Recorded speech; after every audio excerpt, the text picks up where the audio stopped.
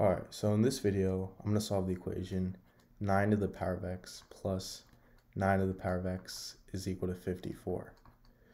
So to solve this, I'm going to divide the left, I'm going to first start by factoring out 9 to the power of x in the left-hand side. So I get 9 to the power of x times 1 plus 1 is equal to 54.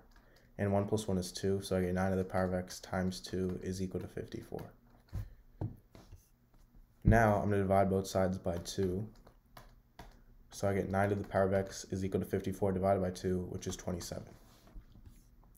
So I've just taken this significantly large equation and made it much more simplified. All I have is 9 to the power of x is equal to 27.